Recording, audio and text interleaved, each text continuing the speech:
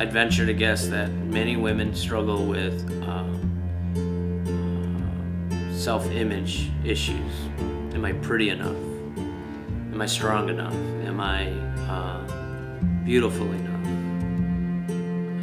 Uh, all these things that the way the the world measures them. And I wanted to write a song that said, Yes, yes, you are. You have no clue. Almost in a divine nature, like, be assured you don't see what I see, and what I see is beautiful.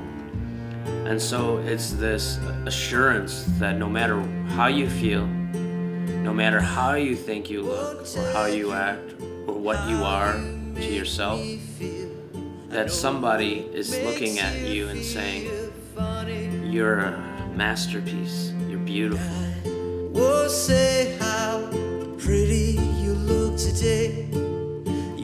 tea.